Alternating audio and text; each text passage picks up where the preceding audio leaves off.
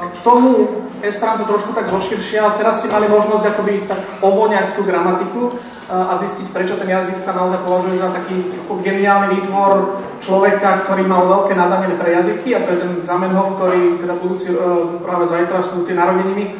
A ten jazyk momentálne v tomto roku oslavuje 130. výročie od vydania prvej učebnice to bolo v tom 1887 a čo je zaujímavé, tak 20 rokov potom, čiže teraz aj v tomto roku oslovujeme 110. výročie od vydania prvej učebnice pre Slovákov. Uh, možno málo kto o tom vie, neviem, či poznáte ešte meno Albert Škarvan, už tá novšia generácia, bohužiaľ ako Slováci nie sme moc hrdí na naše dejiny a malo kedy, kedy poznáme dôležitých našich dejateľov, tak bol to veľký Tolstojovec a podporovateľ myšlienok humanizmu a, pacifizmu, uh, preto aj teda musel ujsť do Ruska v tej dobe. A práve Albert Škarvan vydal vlastne prvé vydanie, vďaka teda aj uh, jednému Rusovi, ktorý financoval to vydanie. Uh, takže takáto knižka vlastne začala to hnutie na Slovensku. Uh, my sme v minulom roku, teda ako bolo spomenuté, organizovali Svetový kongres Esperanta, prvýkrát na Slovensku po 100 rokoch, 101. Svetový kongres Esperanta, ktorý sa koná každý rok niekde na svete. Sa konal teda v Nitre, kam prišlo zhruba 1300 ľudí z vyše 60 krajín sveta a tam je to asi najlepšie odporúčam každému, kto sa o tento jazyk chce eh, nejak tak serióznejšie zaujímať, raz zaživo aspoň to zažiť, prísť na takéto podujatie, vidieť, ako to úžasne funguje, eh, že trošku zabudnete na to, že existujú nejaké národnostné hranice a trenice a podobne, až naozaj sa dá komunikovať na neutrálnej úrovni. No a to, túto knižku my sme spravili vlastne štvrté vydanie, akoby nezmenenú podobu, to je reedícia tej prvej učebnice, ktorá Eh, to na Slovensku odštartovala. Eh, to je, eh, je zaujímavé celkom, že to Esperanto sa v podstate nezmenilo za tú dobu, ale tá Slovenčina je dosť komická už po 110 rokov. No a ja len zo pár takých informácií. Ono to Esperanto naozaj býva nazývané jazyk mieru, pretože skôr ako jazyk sa to dá nazvať filozofiou, pretože ten autor toho jazyka naozaj ho viedli také uh, pacifistické myšlienky k tomu, pretože treba to pochopiť v kontexte. O tom zase, ak by ste chceli niečo viac vedieť, uh, vám odporúčam knižku do Slovenčiny preložená život Zamenhofa, čiže toho človeka, ktorý za tým jazykom stál na začiatku. A on totiž to uh, sa v podstate narodil do takej dosť burlivej doby a do prostredia, v ktorom vyrastal. Bolo to mesto Bialystok v Polsku, takže preto v Polskom inštitúte momentálne. No a v tej dobe to bolo veľmi medzinárodné alebo národnostne zmiešané mesto, v ktorom nie príliš priateľsky spolu nažívali. Nemci, Poliaci, Židia, Rusi, Prusi, bolo to také dosť uh, hašterivé. No a on si ako malý chlapec zaumienil už ako 14 ročný, že keby existoval spoločný ľahko naučiteľný jazyk, možno by sa veľa takých tých treníc a neslávov dalo vyriešiť priateľskou cestou. No a toto ho naozaj nejak tak uh, držalo celý jeho život, napriek tomu, že jeho otec ho prinútil, uh, aby vyštudoval uh, v podstate za doktora, pretože mu povedal, že lingvistika toho neuživí. On sám sa viac menej tak uh, hovorí sa o Zamenhofovi, že to bol lingvista srdcom.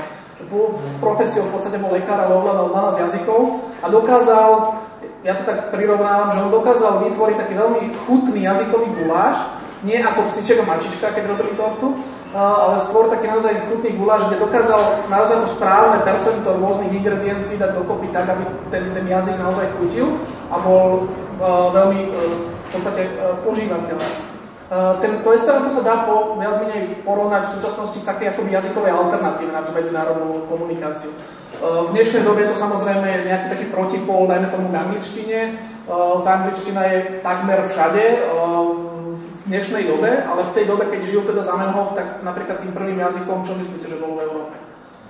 V podstate francúzština bola v, v, tom období takým tým jazykom diplomácie a prestíže. E, dokonca aj e, masovejšie rozšírenie Esperanta hneď po prvej svetovej vojne zablokovali práve Francúzi, e, pretože v Lige národov, taký akoby predchodca OSN v roku 1919, bolo hlasovanie o tom, že teda použiť Esperanto naozaj využívať ako spoločný jazyk No a vtedy práve Francúzi použili právo beta a zakázali, že nie v žiadnom prípade takéto niečo sa nebude používať, máme francúzštinu, nepotrebujeme ďalší iný jazyk. Možno keby vedeli, kde budú o 50 alebo o 100 rokov, uh, možno by sa uh, trošku iným spôsobom na to, na to pozerali. Uh, no a to, čo je dôležité, a to, čo aj propagujeme, že teda naozaj Esperanto je o mnoho viac ako len jazyk, že nás za tým naozaj tá myšlienka spolupráce, priateľstva, otvorenosti, čo nie samozrejme každému vyhovuje, práve preto takmer nič o Esperante nepočujete v médiách, pretože to skrátka nie je in, nie je to populárne. Uh, je ale zaujímavé, že Esperanto je veľmi progresívne. Keď si to zoberiete aj z histórie od tých ľudí, ktorí sa mu venovali, tak sú to naozaj rôzne takí v niektorých prípadoch sa nazývajú blázni, v inom prípade sú to, akoby nazvime to pokrokoví ľudia, či už sú to pacifisti, či už sú to bojovníci za práva rôznych uh, skupín, uh, či sú to ľudia napríklad, ktorí sa venujú v podstate takým tým bezplatným vzdelávaniu a tak ďalej. Dokonca napríklad ten autor Esperanta bol jeden z prvých ľudí, ktorý odporúčal niečo také ako založenie Európskej únie alebo dokonca Spojených štátov európskych. Už počas prvej svetovej vojny písal list diplomatom, bohužiaľ teda musel to prehrmiť všetko, až po druhej svetovej sa s tým začalo. Čo je veľmi zaujímavé, tak práve tá jeho neutralita je zaujímavá z viacerých hľadíc. To prvé je samozrejme to, že ten jazyk akoby patrí nikomu a všetkým. Uh, ten autor Esperanta zase predbehol do nejakých 150 rokov a bol možno jeden z prvých ľudí, ktorý vlastne vytvoril akoby Uh, voľ, voľnú licenciu, pretože sa vzdal akýchkoľvek práv a, a poskytnul ten jazyk hocikomu. V podstate on povedal, že toto celé moje duchovné akoby vlastníctvo ja dávam uh, pre celý svet, môžete sa tento jazyk učiť a budem len rád, ak ho bude používať každý. Zároveň tá neutralita znamená, že neznevýhodňuje jednu stranu, Eh, čiže musia sa ho v podstate naučiť všetci. Čiže keď máte, viete, pri stole Nemca, Francúza, Taliana, eh, Rusa, Slováka, Poliaka, čo je napríklad teraz prípad u nás v kancelárii, eh, k tomu sa ešte chvíľočku dostaneme, tak viac menej všetci sa musíme nejakú časť námahy vytvoriť, aby sme sa, ale, ale je tá námaha o mnoho kratšia, pretože sa v podstate všetci idete akoby len do polovičky tej, tej cesty. Nemusíte vy stavať ten most iba na druhú stranu, ale vlastne obidve strany staviate akoby tú polovičku toho mostu. Uh, to je viac menej uh, súvislosť práve s tou spravodlivosťou, že je to komunikácia ako rovný s rovným. Hej? Ne, necítite sa, v podstate nepozeráte sa takto, pretože nad vami je rodený hovoriaci, či už angličan, nemec alebo podobne, a ten vás zotrie, že vlastne vy ani neviete, že si s vás robí srandu. Uh, to sa vám môže stať, keď dajme tam pracujete či už pre nejakú zahraničnú firmu alebo máte skúsenosti zo sveta, ja som sa napríklad toho, k tomu Esperantu dostal práve viac menej nejakou takou akoby náhodou. Po strednej škole som sa dozvedel, že nejaký takýto jazyk vôbec existuje, kontaktoval som ľudí a keď som odišiel pracovať do Nemecka, tak som si zobral zo sebou učebnicu, išiel som tam na na brigádu a zobral som si učebnicu Esperantom za 3 mesiace. Bola teda česká akoby verzia tejto knižky, teraz už sa volá Esperanto od A do Z. No a ja som potom po tých troch mesiacoch zistil, že zrazu viem jazyk, o ktorom som pred pol rokom ani nevedel, že existuje a zrazu poviem lepšie ako Nemčinu, z ktorej som maturoval. Keď som v Nemecku žil, dennodenne som vlastne ten jazyk používal, ale vždy ste viete na tej nejakej tretej, štvrtej úrovni, asi to chápete, ak ste sa nejaké jazyky učili a je tam trošku ten problém, že nepozeráte sa stále v podstate do očí tomu, tomu rodenému hovoriacemu rovno, ale naozaj je to takto, že buď vy pozeráte hore a ten človek skrátka po prvej vašej vete vie, že aha, dobre, tak ja musím znižiť svoju úroveň, aby som ma vôbec pochopil. A toto mi bolo veľmi takoby trápne, ja som mal taký možno komplex, ja som taký možno opak toho, čo bola Lidia, uh, že ja som sa síce jazyky učil na strednej škole, na základnej, ale uh, mal som vždy ten problém, že som chcel byť dokonalý, ale nedalo sa. Hej, povedal som prvú vetu v tom Nemecku a teraz už aha, Ausländer, a cudzinec, hm, to tak... A viete, a už je to iná komunikácia, už to není také srdečné, už to není priame. A potom som zistil, že existuje jeden jazyk, ktorý dokáže naozaj sa naučiť dokonca ako samouk, čo je asi jeden, jeden možno jediný jazyk, ktorý sa taký bežný človek, nie polyglot, eh, dá, eh, môže naučiť môže naučiť eh, viac menej naozaj samoštúdium za priebehu pár týždňov až mesiacov. Čo je veľmi zaujímavé, tak tento jazyk naozaj vytvára takú akoby nadnárodný ten most, alebo ja to volám také, také, také nadnárodnostné premostenie, že vy v podstate zabúdate, alebo nie je to dôležité v tom momente, tá nejaká príslušnosť k nejakému národu alebo etniku. Veľakrát sa mi to už stalo na tých estranských podujatiach, ktoré existujú všade možne po svete, že ja viac menej poznám človeka, ja vlastne neviem, skade je. Neviem, či je z Mexika, alebo z Brazílie, alebo, alebo zo Španielska, lebo to v podstate vtedy nie je dôležité. Viete, my riešime nejakú tému, alebo sa diskutuje, alebo je tam, neviem, na poslednom, dajme tomu, našej letnej škole Esperanta, hej, bola prednáška o elektrických autách. Uh, ja teraz nepotrebujem vedieť, že či ten človek sedí, viete, je z Kanady alebo, alebo z Mexika, ale skrátka sa diskutuje. A to je veľmi zaujímavá vec a je to možno jeden z takých, možno jedno, jedno z možných riešení na tú aj súčasnú krízu takéhoto nacionalizmu všade možne po svete a teda aj v Európe. E, začať sa trošku inak pozerať na tie, na tie medziludské vzťahy. A to správne to umožňuje. O tom tomu už v podstate ste sa mali možnosť niečo dozvedieť, že ten jazyk je naozaj jednoduchý, ale to neznamená, že je primitívny. To už sme hovorili, že on je naozaj veľmi bohatý. a dokáže, je schopný viac menej vyjadriť všetko, čo treba. Po mojich, neviem, asi 18 ročných skúsenostiach s týmto jazykom to môžem potvrdiť. Momentálne, to tu ešte asi neodznelo, tak ja som vlastne koordinátorom občianského združenia, ktoré má názov Edukácia a internet a venuje sa práve vytváraniu web stránok na výučbu cudzích jazykov. To je práve ten letáč, by ste ho mali niekde tam taký jak mobil, takéto niečo, takže ak chcete vedieť niečo viac o tom, čo robia esperantisti, tak si to môžete pozrieť, pretože my sme na základe toho, že sme vytvorili ten web na, na Esperanto, to web.net, uh, ktorý bol prvý taký vzdelávací web na výučbu cudzieho jazyka, sme si povedali, že skúšme to aj na nejaké iné jazyky. Samozrejme, slovenčinou sa učí ťažšie ako Esperanto cez internet, ale vyskúšali sme a vďaka teda Esperantu a Esperantistom vznikla prvá web stránka a doteraz jediná mnohojazyčná web stránka bezplatná na výučbu slovenčiny pre cudzincov má názov Slováke EU. Možno už niektorí z vás chápu, prečo Slováke, lebo Esperanto to znamená po slovensky. Uh, no a toto je projekt, ktorý momentálne už má vyše 55 tisíc registrovaných užívateľov z vyše 200 krajín sveta, má 13 jazykových mutácií, momentálne sa prekladá do korejštiny ako 14. A nestojí za tým ani žiadny slovenský nacionalista, ani slovenská národná strana, ani nejakí politici, stoja za tým v podstate nadšení esperantisti, ktorí si chceli povedať, no poďme niečo robiť aj pre iných, aby sa mohli učiť cudzie jazyky. Takýmto následne spôsobom sme vytvorili web stránku na výučbu Nemčiny. Pred, včera sme odosielali správu na projekt e, cez Erasmus za ruštinu, čiže už sa môžete učiť napríklad aj ruštinu, češtinu, dokonca sme robili v spolupráci s Masarykovou univerzitou. No a teraz pracujeme na polštine na, e, najbližšie, takže o nejaký rok, dva príbudne aj takýto web. No a toto všetko vlastne vzniklo vďaka Esperanto. Aj mne keby niekto povedal na strednej škole, že sa budem venovať jazykom alebo vzdelávaniu, tak ho vysmejem, pretože som s tým nemal nič spoločné. Tie jazyky bola jedna mm, z, z odvetví alebo z predmetov, ktoré som sa musel učiť. A zrazu sa mi nejakým spôsobom akoby otvoril úplne iný svet, eh, v ktorom teda momentálne fungujem. A práve tá genialita toho jazyka ma presvedčila o tom, že má zmysel sa tomu venovať a teda šíriť tú myšlienku aj ďalej. Uh, no a Ehm, toto to sú naozaj veci, o ktorých sa môžete presvedčiť aj z tej skladačky, ktorú ste dostali zelenej. To posledné je naozaj pravda, to vám dokonca potvrdí človek, ktorý má na to papier, to nie je len náš vymysel, ale Max Kašparu, český e, psychológ, psychiatr a neviem čo všetko, to je český dokonca človek, ktorý má najviac titulov v Českej republike, tuším 5 vysokých škôl, e, tak on preložil učebničku Esperanto priamo metodou, ktorú tu máme do češtiny až ako 60 ročný, keď odišiel akoby na dôchodok. A on sám ako psychológ a psychiatr potvrdzuje, že uh, on odporúča Esperanto ako najlepší prostriedok na prevenciu proti Alzheimeru. On to samozrejme potom zdokladováva. Budete mať záujem, niekto môžete nám napísať a môžem poslať k tomu niečo viacej. Ten jazyk je samozrejme kultúrny. My sme donesli len takú malú ukážku, pretože zajtra budeme mať inú akciu pre esperantistov, tak to, čo tu vidíte, tak to je zo pár skrátka kníh, materiálov, cd a podobne, ktoré v tom jazyku teda fungujú a existujú. Eh, čo je málo známe, tak napríklad skupina Team nahrala prvú, prvý album v Esperante. Ak chcete, môžete si to vygoogliť do YouTube, zadajte kľudne, že Teamo en Esperanto alebo Team Esperanto a nájdete tam celý, dá sa celý prvý album uh, nahrať. Práve preto, že ich manažer v tej dobe bol veľký esperantista a v podstate vydal aj knihy.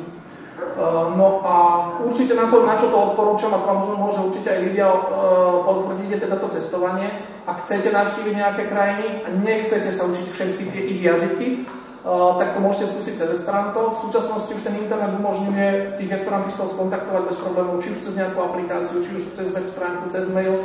Uh, ja som doteraz, keď ma minulý rok pozývali do slovenského rozhlasu ohľadom cestovania, tak som to tak počítal po ceste uh, do redakcie, tak som napočítal 35 krajín, ktoré som navštívil vďaka Esperantu. V živote by ma nenapadlo keď som otvoril tú učebnicu, že sa niekedy dostanem do Japonska, do Číny, dokonca dvakrát, uh, že precestujem celú Európu, že budem mať v podstate naozaj priateľov od Brazílie až, až po, po Hongkong.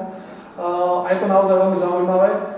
Uh, spoznať tú krajinu znútra, to je tá vec, o ktorej to aj Lidia tu spomenula, že tie esperantisti sú naozaj takí tí srdeční ľudia, ktorí vám, vás dokážu bezplatne ubytovať, poskytnúť E, nejaké rady, keď potrebujete, hej, kúpiť vám listov, odprevadiť vás niekam a tak ďalej, takže je to taká lacná alternatíva na to cestovanie. Existuje na to aj web stránka a projekt Passporta Servo. Poznáte niekto z projekt Couchsurfing? Ten asi viacerý. No tak Passporta Servo je asi o 50 rokov staršia služba, ktorú esperantisti mali.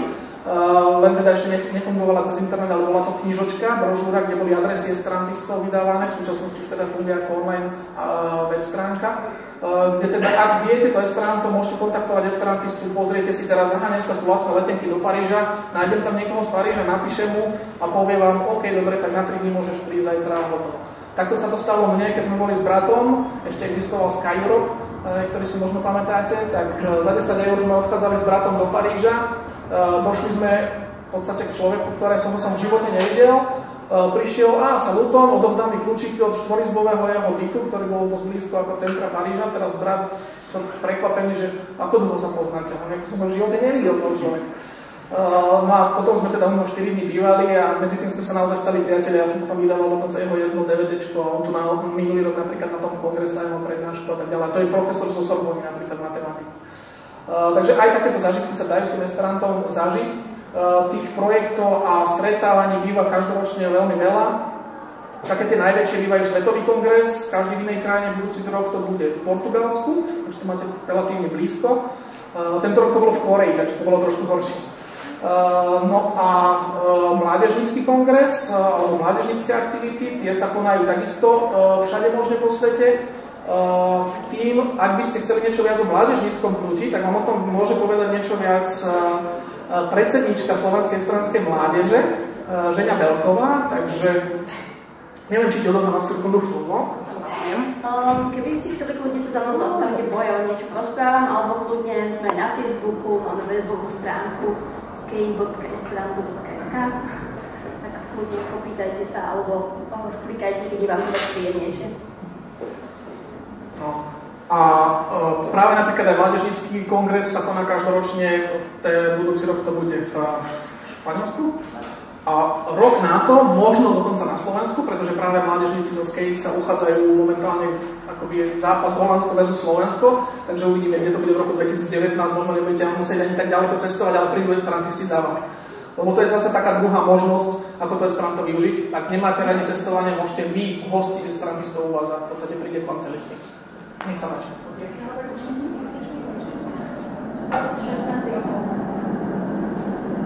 Uh, takže toľko uh, asi k tomu Esperantu z, z toho pohľadu človeka, ktorý ním naozaj žije denne. Uh, to som tu teda uh, nespomenul uh, tak okrajov, že momentálne som koordinátorom toho združenia a my používame Esperanto u nás v kancelárii v Partizánskom ako pracovný jazyk. To znamená, že ľudia, ktorí u nás fungujú, viac menej buď vedia to Esperanto, alebo sa ho naučia za pár dní a týždňov. Momentálne aj hostujeme dobrovoľníkov cez Európsku dobrovoľníckú službu a tak, ako som to tam naozaj spomenul, tak momentálne je nás 8, každý z inej krajiny. A pritom napríklad obede alebo večer je to celkom zaujímavé, keď zistujete, aké sú zvyky alebo ako sa to správa, aké sú rôzne také tie maniere. Takže to obohacujúce aj z tejto stránky, takej tej interkultúry. No ako náhle to s tým Esperantom začnete brať vážne, tak môžete skončiť takto ako ja, lebo to sú písačky z rôznych esperantských podujatí, ktoré som si robil trošku poriadok doma a som zistil, že asi, asi už som eh, tomu Esperantu naozaj prepadol. Uh, no a okrem takýchto vecí, tak sa napríklad venuje práve vydávaniu tej esperantskej literatúre a uh, používaniu a šíreniu tej myšlienky tohto jazyka aj naďalej. Takže ak budete mať aj teraz nejaké otázočky, či už na gramatiku a na Libiu alebo na mňa, kľudne my tu ešte zostaneme chvíľočku aj zbaliť tie materiály. Ak by ste chceli odporúčania nejaké, tak v tom strednom paneli alebo v tom strednej časti sú učebnice slovníky, kľudne vám vieme odporučiť, ktorá by vám možno pasovala, uh, ak vás ten jazyk zaujíma alebo ak teda ste taký typ, že sa chcete učiť cez internet alebo online, tak uh, určite odporúčam tú stránku lerno.net. Momentálne už je zaujímavé, tak existuje už aj Duolingo, to možno niektorí z vás poznáte na iné jazyky, tak už aj Duolingo má aj esperantskú verziu, kolega jeden uh, zabezpečoval preklady a tá stránka už má napríklad vyše milióna registrovaných užívateľov, takže už to správne sa celkom šíri. Uh, je to zaujímavé z toho napríklad jazykovo-politického hľadiska, ale to už je taká téma uh, trošku zložitejšie, ale bohužiaľ na Slovensku sa tomu nikto nevenuje a nikto nás nechce niekde ako nejak tak uverejniť a informovať o tom, uh, pretože po Brexite teraz, viete, je to taká dosť taká prekerná zaujímavá situácia, že my celá Európska únia sa budeme učiť jazyk prvej krajiny, ktorá vlastne odíde. A teraz všetky deti sa budú teraz učiť napríklad povinne angličtinu a kde ju využijú? Odídu do Nemecka pracovať, alebo do Rakúska, alebo do Francúzska a teraz odídete napríklad pracovať do Francúzska, viete perfektne francúzštinu a teraz niečo sa stane a vy budete musieť sa stane vrátiť. Alebo pôjdete kam? Pôjdete do Španielska, budete sa ďalších 7 rokov učiť ďalší jazyk, aby ste sa naučili. Takže ono to trošku súvisí aj s témou takej tej európskej identity, pretože tá sa doteraz podľa mňa len hľadá je to vec, ktorá ešte nie je tak rozvinutá v rámci toho, tej Európskej únie, pretože akým spôsobom sa môžeme viete, cítiť spolupatriční s ľuďmi, ktorým ani nerozumieme, o čom hovoria. Takže možno, že aj takýto jednoduchý jazyk by to mohol vyriešiť. Predstavte si, že by sa cudzí jazyk na základnej škole učil počas jedného školského roka, kde vlastne preberú celú tú gramatiku, ale teda nie tak rýchlo za 1,5 hodinu, ale za jeden školský rok sa dá naučiť komplet celá gramatika, vlastne na druhý rok už nemáte tie deti čo učiť, Môžete im iba zvyšovať slovnú zásobu podľa ich odvetvia, hej, keď budú niekde automechanici, tak sa budú učiť to, keď budú na gymnáziu humanitné vety a podobne.